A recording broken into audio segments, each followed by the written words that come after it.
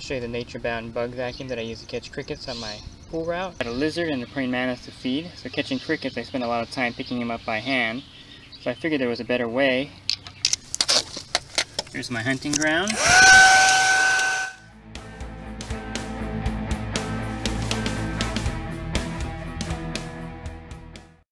thing about this is that you can actually close it with this dial here, so they're all trapped in there.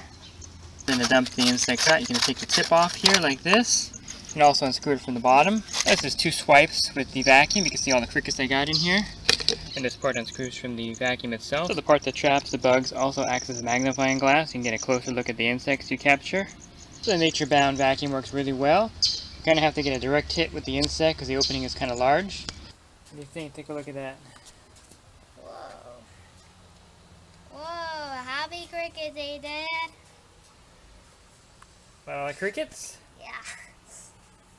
Really works.